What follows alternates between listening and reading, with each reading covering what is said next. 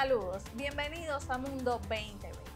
Iniciamos el 2022 recordando un hecho que dejó a muchos asombrados hace un año. Y es que el 6 de enero de 2021 tuvo lugar en Estados Unidos uno de los sucesos que los propios norteamericanos consideran como de los más graves de su historia. Un asalto al Capitolio remató el legado del expresidente Donald Trump. Luego de que el entonces mandatario incitara a sus seguidores a no aceptar su derrota electoral, los partidarios iracundos irrumpieron en la sede del Congreso para evitar la certificación de la victoria del demócrata Joe Biden. ¿Sigue siendo entonces el modelo de democracia de Estados Unidos un ejemplo para el mundo?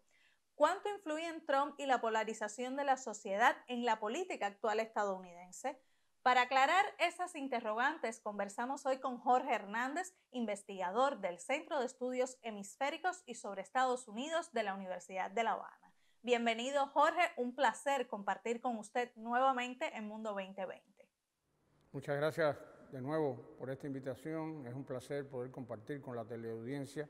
a través de los espacios de este programa Mundo 2020. Jorge, un año después de aquel ataque al Capitolio que dejó muertos y heridos, ¿cree usted que sigue siendo Trump un catalizador de conflictos internos y de la polarización en la sociedad estadounidense? Indudablemente. Trump fue un personaje que inesperadamente, se podría decir, arribó a la presidencia de los Estados Unidos en una contienda complicada donde la mayoría de los pronósticos, como se recordará, apostaban a que Hillary Clinton, una mujer, además con una experiencia presidencial y un vínculo familiar por el esposo, podía ser la nueva presidenta y repentinamente este hombre eh, con experiencia en los medios de televisión, un magnate, un megamillonario,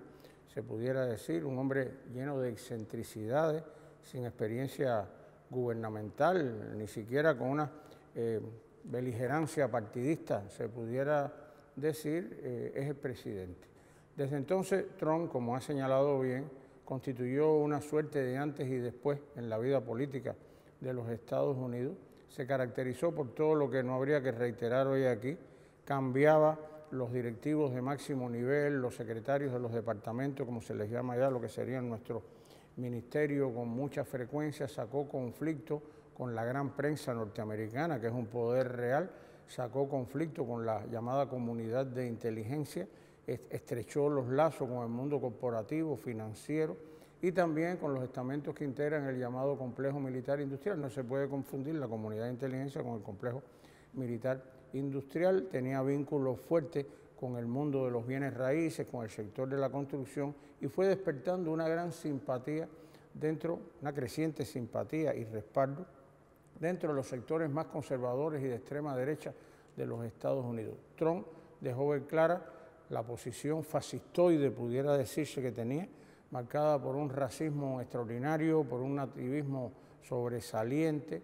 un hombre que discriminaba incluso por el origen étnico, desató una guerra contra el mundo latinoamericano, sobre todo contra los mexicanos, contra el mundo musulmán, también afirmando lo que él asumía como los valores fundacionales de la cultura y de la nación estadounidense. Dentro del propio Partido Republicano, sin embargo, encontró resistencia y obstáculos en la campaña presidencial de 2020, de la que salió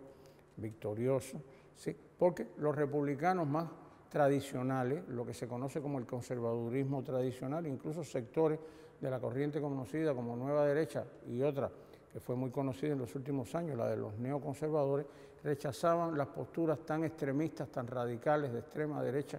de Trump. Eso, lejos de desaparecer, eh, con el relevo presidencial,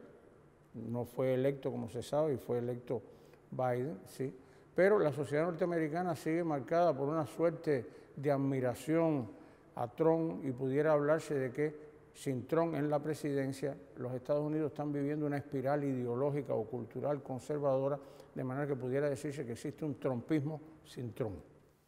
En una conferencia de prensa, Jorge, que está marcada para este 6 de enero, Trump pretende dar su versión de los hechos y probablemente reitere su teoría de fraude electoral y comicios robados, algo que hasta ahora no se ha demostrado. ¿Cuánto pueden influir sus acciones en una eventual candidatura a la Casa Blanca en 2024? A ver, como comentamos hace unos minutos, las contradicciones forman parte, constituyen una característica esencial de la sociedad norteamericana. Desde ese punto de vista, el primer dato a retener es que los Estados Unidos se les concibe, se han presentado a sí mismos a escala universal en el viejo mundo, en Europa, en el mundo subdesarrollado, en nuestra América también, probablemente en el mundo asiático también, como el país que es el emblema de la democracia, de las libertades, del respeto a los derechos humanos. Y esa es una imagen muy fuerte en la cual cree una buena parte de la ciudadanía norteamericana. Esta apuesta por el rescate del liberalismo tradicional, lo que impregnó los documentos fundacionales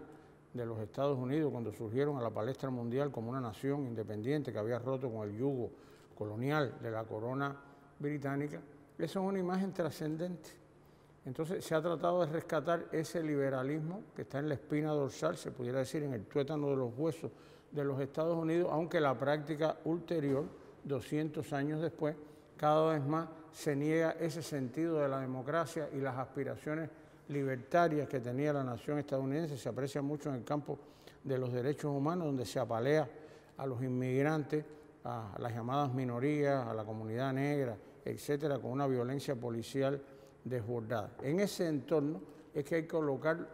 a Trump y a todo lo que representa con estos brotes ya aludidos de intolerancia, de nativismo, donde se condena al que no nació en los Estados Unidos. Recordemos que Obama, siendo presidente y un hombre de piel negra, tuvo que someterse a escrutinios legales. ¿Quién puede imaginar en nuestros países, en la cultura, digamos, ibérica, hispanoamericana, como querramos llamarle, que un presidente sea cuestionado por el hecho de si nació o no nació y tenga que demostrar, presentando lo que sería la certificación de nacimiento, que sí es ciudadano norteamericano? Entonces, en ese país de contraste entre una tradición liberal que se niega a perecer, pero que cada vez pareciera estar más agotada, donde florece un conservadurismo contrastante como la otra cara de la moneda, con todas estas conductas que, niegan lo que fueron los Estados Unidos en, la etapa de la independencia y la formación de la nación, lo que estaba escrito en la Declaración de Independencia o en la Constitución de Filadelfia no tiene mucho que ver con lo que está sucediendo hoy. De manera que eh, nuestra consideración es que sí, la figura de Trump puede aún crecer, desarrollarse. Estaba tratando de fundar un partido, el partido creo que el nombre era como Partido Patriota o algo de eso, es decir, una pretensión que incluso contrasta o choca o rompe con la tradición bipartidista de los Estados Unidos, los demócratas y los republicanos, y nunca se ha podido quebrar esto con la emergencia, con el surgimiento de un tercer partido, pero por ahí estarían las posibilidades de un hombre tan carismático, tan poseído, eh, tan enloquecido como es el caso de Trump. Y además de todo eso, el expresidente Trump y sus más cercanos aliados obstaculizan el trabajo del Comité Especial de la Cámara de Representantes que investiga lo ocurrido, pero aún así esa comisión insiste en llevar la pesquisa hasta el final, o sea, hasta saber si el entonces jefe de la Casa Blanca promovió las protestas y estuvo implicado. Con tantos obstáculos y hasta litigios judiciales por medio, ¿será posible para ese comité llegar al fondo de las averiguaciones? Sí, es muy interesante esta pregunta y de hecho tiene que ver con un gran terreno de preocupaciones que compartimos los estudiosos, los profesionales de la prensa, los académicos, eh, que pensamos que puede pasar en la sociedad estadounidense en los próximos años. De manera que esto tiene también un cierto componente especulativo que quisiéramos evitar pero desde luego la ciencia social, el mundo de la política y la prensa trata de vaticinar de alguna manera las tendencias y las perspectivas de lo que puede ocurrir en un país tan contradictorio como es la sociedad norteamericana. Eh, para expresarlo de una manera muy sintética y gráfica, se pudiera decir que la nación estadounidense es una de esas que, en las que puede ocurrir prácticamente cualquier cosa. Existe una historia que demuestra los numerosos casos de litigios que han existido, los comités senatoriales, comités de investigación creados en la Cámara de Representantes, en general dentro de las estructuras legislativas o del Congreso de los Estados Unidos, y que en muchísimos casos eh, no han llegado al final del proceso. Los Estados Unidos son una nación que está conformada por una fuerte tradición de legalismo, todo está eh, calculado desde el punto de vista de la no violentación de la legalidad, desde el punto de vista formal, Sin embargo, en la realidad de la vida cotidiana, del ejercicio de la práctica política, eso muchas veces está muy alejado. ¿sí? Entonces es un país en el cual, por ejemplo, eh, si recuerdan a la teleaudiencia, en la década de 1990 el presidente William Clinton, que era un demócrata, vivió una situación muy escandalosa con una colaboradora, Mónica Lewin, que aquello se llevó una y otra vez tratando de llevar eh, una medida eh, fuerte de provocar incluso la impugnación del presidente, lo que se conoce como el impeachment, y eso se quedó más o menos por ahí. Con Trump se vivió durante el último año, el año preelectoral y el año electoral también, 2019 y 2020, un proceso parecido que no prosperó, encontró muchos obstáculos porque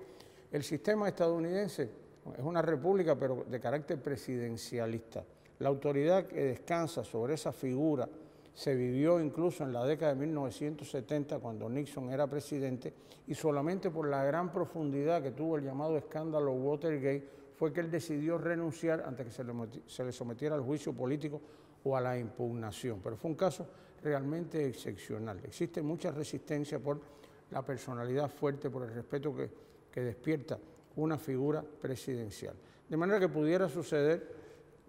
algo contrario a Trump, pero también no es descartable para nada que el proceso se quede a mitad de camino. No olvidemos algo que señalábamos antes, dentro de las filas republicanas existen detractores, pero existen también personas que respaldan a Trump, ha tenido mucha adhesión dentro de esa fila y temen incluso por una posible represalia en el caso de que pueda nominarse para las elecciones del 2024. Jorge, los republicanos esperan una ola roja para las elecciones de medio término de este año, de noviembre, y una de las estrategias que algunos candidatos pretenden utilizar es precisamente distanciarse de Trump, como hizo Glenn Youngkin en Virginia para salir electo como gobernador del estado. En su opinión, ¿pudiera dar resultado ese distanciamiento de Trump mientras muchos lo ven como el republicano más influyente? Sí, desde luego que sí, puede serlo y probablemente sea la estrategia que se despliegue en el próximo año, como está señalando bien, de cara a, las elecciones de medio término, donde existe una renovación importante de la, composición de los legisladores. Este, sin embargo, es algo que no es totalmente novedoso. Yo creo que esto habría que enmarcarlo, y algo de esto decíamos ya, en las propias contradicciones que generó el peso que fue adquiriendo durante la campaña electoral de 2020 la figura de Trump. Esto sorprendió a muchos republicanos. Trump era un hombre que se autoidentificaba, porque de hecho lo era, como una figura de tradición libertaria eh, que se movía fuera de lo que sería la corriente fundamental del propio Partido Republicano, no era aceptado por consiguiente por las filas republicanas más convencionales como un hombre comprometido ideológicamente con la tradición de ese partido, sino como una figura que con sus excesos personales, pero también por la agenda política que ostentaba, se apartaba de las tradiciones de eso que se conoce como el gran viejo partido, el gran old party, le dicen ellos, al partido republicano. El partido republicano, hay que insistir en esto, no es monolítico, no es homogéneo, en su seno existen diversas tendencias incluso algunas que lo pueden acercar de cierta manera a las vertientes del partido opuesto, del Partido Demócrata, serían los más, pudiéramos decir, liberales dentro del mapa de los conservadores, pero existe toda una eh, gama de corrientes como la de la derecha evangélica, que es muy fuerte, tiene una gran presencia y está muy difundida dentro de la sociedad norteamericana. Eh, está también la corriente que mencionábamos, los neoconservadores, la llamada nueva derecha, que en realidad no fue un fenómeno tan nuevo en la década del 80, aunque sí bastante derecha, esa corriente, que tratan de recuperar una agenda en el campo de la política interna eh, muy elitista, eh, muy reaccionaria, eh, se oponían a, los intentos de legalizar, por ejemplo, el aborto, las interrupciones de los embarazos, reclamaban el rezo de la oración protestante de manera obligatoria en las escuelas primarias y de enseñanza media también, lo cual chocaba con, chocaba con el mundo católico, con el mundo judío, que tienen una determinada fuerza dentro de la sociedad norteamericana. Y hacia el exterior, la corriente neoconservadora se proyectaba procurando la hegemonía mundial de los Estados Unidos, pero utilizando más, apelando más a un estilo multilateral que utilizara la diplomacia y mecanismos más de diálogo y de negociación que de confrontación y de belicismo, como era lo que estaba eh, practicando Trump. De manera que todo eso estaba sobre la mesa y se puso, digamos, a la luz de todo el contexto electoral entre 2019 y 2020. Ese es el contexto en que está Donald Trump ahí colocado y por tanto los intentos de apartarse de Trump de alguna manera tienen un puente hacia aquellas tendencias que en el contexto de las elecciones ya citadas ¿sí? cuestionaban a la figura de Trump.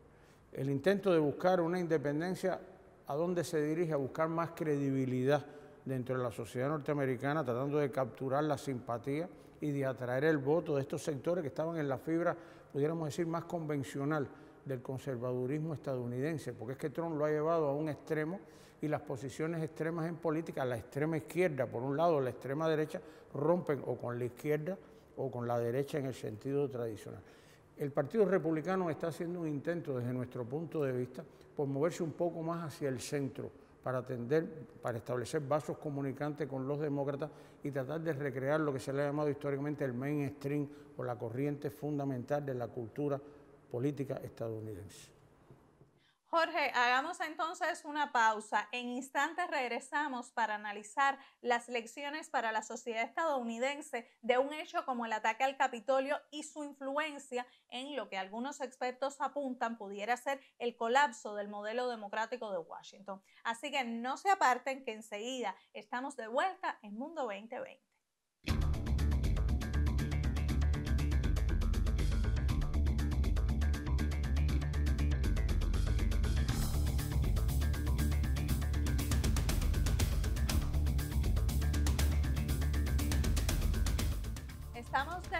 Mundo 2020. En el programa de hoy analizamos el impacto del asalto al Capitolio de Estados Unidos por parte de simpatizantes de Donald Trump al cumplirse un año de ese acontecimiento considerado Día de la Infamia en esa nación. Si bien el actual ocupante del despacho oval, Joe Biden, ha dicho que apoya las investigaciones de la comisión parlamentaria que busca llegar al fondo de lo ocurrido en aquella jornada, Recientemente, la Casa Blanca negó entregar ciertos documentos por cuestiones de seguridad nacional. A pesar de la decisión, la Administración está dispuesta a publicar más de 700 páginas de registros que documentan las discusiones, llamadas telefónicas y visitas de Trump y de sus principales asesores. Mientras tanto, el magnate republicano pidió a la Corte Suprema evitar que los archivos nacionales entreguen al Congreso esos registros relacionados con los disturbios de hace un año. Evidentemente, algo quiere esconder Trump.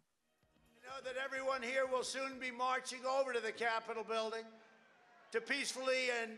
patriotically make your voices heard. Today we will see whether Republicans stand strong for integrity of our elections, but whether or not they stand strong for our country. Retomamos el diálogo con Jorge Hernández, profesor e investigador experto en temas relacionados con la política estadounidense, para conocer qué lecciones quedan de ese día, porque Jorge, las protestas de hace un año en Estados Unidos no solo implican al expresidente Trump, también existen pruebas de que la inteligencia estadounidense no respondió adecuadamente a la situación y hubo otros errores. ¿Pudiera repetirse algo similar? El hecho en realidad, como se le ha calificado en la mayor parte de la prensa, en los análisis también académicos, existe consenso en esto, pero se le califica como un hecho insólito, un acontecimiento inédito en la historia política de los Estados Unidos. Y es correcto, porque la esencia del hecho del asalto al Capitolio eh, lo que está expresando es una crisis de legitimidad la mayor conquista que ha podido exhibir Estados Unidos desde el punto de vista del funcionamiento eh, con un soporte consensual, es decir, respaldado con un consenso interno, tiene que ver con el sistema político que exhiben, que es un sistema bipartidista, por una especie de balance entre lo que es un gobierno central, un ejecutivo fuerte encabezado por la presidencia, pero por gobiernos estaduales también que lo encabezan los gobernadores. Y ese sistema federalista se nutre de lo que se consideran o se le denominan en la jerga política gubernamental estadounidense un sistema de pesos y contrapesos, una especie de balance. El Ejecutivo aprueba cuestiones que el Legislativo puede echar para atrás, el Legislativo toma decisiones que pueden ser vetadas por, por el Ejecutivo y más o menos así. Entonces, en todo ese entorno,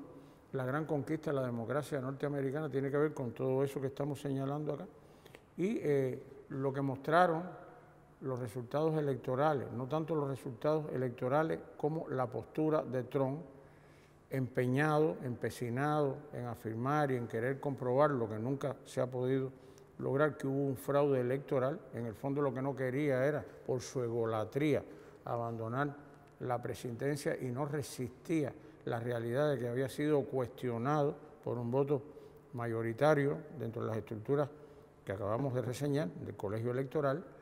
pero como contó con el apoyo en como de 70 millones o algo más de personas que lo respaldaron, se sintió totalmente en capacidad de tener esa postura. La esencia del asalto al Capitolio, por lo tanto, tenía que ver con una expresión de caprichosa, pero que mostraba que el sistema bipartidista y con todos estos adornos accesorios no era totalmente legítimo. Era la manera de mostrar que en ese acto, donde la ciudadanía expresa, aunque su peso sea indirecto, su voluntad respecto a quién debe dirigir la nación, no funcionaba, era desconocido. Por eso insistimos en esto, la esencia del asalto al Capitolio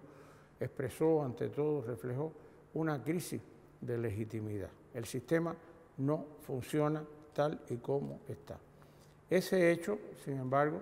no era totalmente nuevo desde el punto de vista de que, aunque era un acto inédito o insólito, en el sentido de que no tenía antecedentes de similar cualidad o de similar naturaleza, ese proceso sí tenía un pasado y acontecimientos que reflejaron en episodios anteriores cuestionamientos a lo que decían las urnas, a lo que reflejaba la elección, ¿sí? Existían. Por ejemplo, en la década de, de 1960, cuando salió electo el presidente Kennedy, las elecciones de 1960, y pierde la elección eh, Richard Nixon, se desató todo un proceso que al final concluyó con la aceptación por parte de Nixon de que él sí había sido derrotado, pero hubo toda una ofensiva dirigida a ese cuestionamiento. Mucho más para acá, la teleaudiencia recordará las elecciones del año 2000, en la que salió presidente George W. Bush, pero él no fue electo, fue designado por la Corte Suprema ante la indecisión que existió por el conteo y reconteo de los votos en el estado de la Florida, donde el hermano de, de George Bush, Jeb Bush, era el gobernador y se habló mucho de que fue un proceso amañado, la realidad que fue un proceso extraordinariamente irregular, prolongado y todo indica que también fue un proceso fraudulento. Estamos poniendo algunos antecedentes que hablaban de cierta manera de conducta negada a aceptar los resultados, pero que nunca se materializaron en un asalto, violencia a la sede del aparato legislativo. Es una instancia prácticamente sagrada, como lo es el Capitolio para la sociedad norteamericana. Los representantes son los representantes del pueblo. Entonces, yo creo que desde ese punto de vista, el hecho pudiera repetirse atendiendo a esto último, a lo que representan como cuestionamiento de resultados electorales, pero en cuanto a la manera en que se reflejó con un proceso de asalto violento, personas con el torso desnudo, con símbolos nazis y todo eso, desde nuestro punto de vista, pensamos que no es un hecho que se pueda repetir en el corto plazo, lo cual no niega lo que decíamos al inicio, de que es una expresión total de crisis de legitimidad política del sistema. Y profesor, ¿es posible afirmar que el modelo democrático estadounidense está en peligro teniendo en cuenta otros hechos, como por ejemplo la avalancha de leyes en una veintena de estados controlados por republicanos que por cuestiones muy técnicas quieren limitar el derecho al voto, sobre todo de las minorías? Este asunto, esta pregunta con, con lo que acabamos de, de valorar. Sí, el sistema democrático en los Estados Unidos está viviendo una crisis desde hace tiempo la expresión cimera de esto, quizás de nuevo, está en el asalto al Capitolio como hecho eh, sin precedentes. Aunque en la historia de la nación, una década después que concluyó la guerra civil, aproximadamente en el año 1876, hubo un proceso a raíz de una elección en la que se produjo desde entonces un cuestionamiento importante al resultado. Tenía que ver con el derecho justamente a representación civil y política del negro norteamericano que había sido esclavo hasta la guerra civil y que obtiene una libertad muy relativa porque se le niega en muchos casos y durante buena parte del tiempo el derecho al voto, el derecho al trabajo y la condición de ciudadano. Es un antecedente muy lejano, pero de alguna manera ponía sobre la mesa las limitaciones, el pecado original, quizás sería mejor decir, que tenía la concepción de la democracia dentro de los Estados Unidos. Los propios padres fundadores, cuando elaboraron la, la Declaración de Independencia y cuando definieron posteriormente los nutrientes de la temprana Declaración de Filadelfia, no podían ocultar su realidad clasista eran hacendados y eran propietarios de dotaciones de esclavos. Y con ese pecado original nació la nación estadounidense, ¿sí? como una revolución adelantada en su tiempo a lo que fue la Revolución Francesa en 1789. Aquí estábamos hablando de un proceso algo anterior, 1776. La Revolución Francesa se suponía, se identificaba con los símbolos de igualdad, libertad y fraternidad. Dentro de ese espíritu se, podía decir que la revolución de independencia estadounidense se anticipó un poco, exponiendo el modelo de la democracia liberal, pero con una gran dosis de hipocresía y de limitación. Todo esto ha sido aceptado por la difusión amplia que se ha hecho por el sistema escolar en los Estados Unidos, por el sistema de los poderosísimos medios de difusión, por la literatura estadounidense, por el cine norteamericano, por los cómics, los muñequitos para los niños, eh, los dibujos animados y todo esto que han difundido un patrón de democracia que poco tiene que ver con la realidad, donde, tú hacías una alusión a esto hace un rato ahí, los derechos de los inmigrantes, de las minorías, de todo lo que se considera como que está por debajo del patrón cultural universal que los Estados Unidos representan, no tienen esos derechos. Incluso en el proceso electoral de 2020 hubo incidentes de violencia policial eh, muy marcados y el propio Trump en el año 2017 con hechos que se produjeron en, Charlottesville o algo así, reacciones contra manifestaciones de izquierda y contra el grupo Black Lives Matter también, y nunca condenó aquello que fueron expresiones fascistas. Desde luego que los estados están viviendo, aun cuando el Partido Demócrata con Biden ha llegado a la Casa Blanca y estamos asistiendo a un proceso prácticamente de, de permanencia de las prácticas de Trump, con esta indecisión y ambivalencia del nuevo gobierno, lo que está hablando es que por encima de la identidad del partido, sean demócratas o sean republicanos, la razón de Estado, el gobierno permanente de los Estados Unidos sigue estando marcado por una voluntad y un espíritu realmente antidemocrático donde no le interesa la participación de las mayorías en los destinos de la nación. Y eso es lo que es la democracia. Muchísimas gracias Jorge por estas reflexiones sobre un hecho que marcó sin dudas un antes y un después en la sociedad estadounidense y que también pudiera influir en un eventual regreso político de Trump, una figura capaz de explotar y avivar las divisiones en esa nación. Gracias a ustedes una vez más y hasta la próxima. Por hoy nos despedimos. La próxima semana regresamos para mirar al mundo con 2020.